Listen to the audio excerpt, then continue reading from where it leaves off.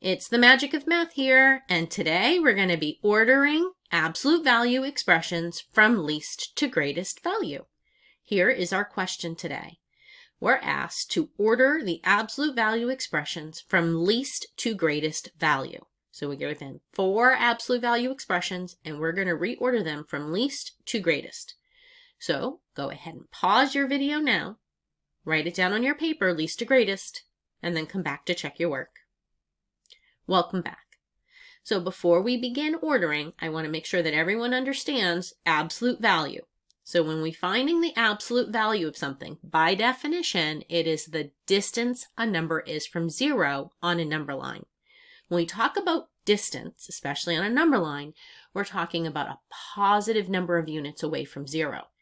Think of it in your real world. If you're traveling or walking to the park or to a friend's house or to school, when you are home, if you are two miles away from that destination, when you get there, you're still, now you're two miles away from home. It doesn't become negative once you go from one place to another. You're always just two miles. So distance on the number line is the same way. It doesn't matter if you go two units to the right of zero or two units to the left of zero. You're still two units away from zero. And we designate that or represent that in math using absolute value symbols, which are these parallel lines. So let's evaluate each one so that we can correctly order them. So the absolute value of negative 4 is 4.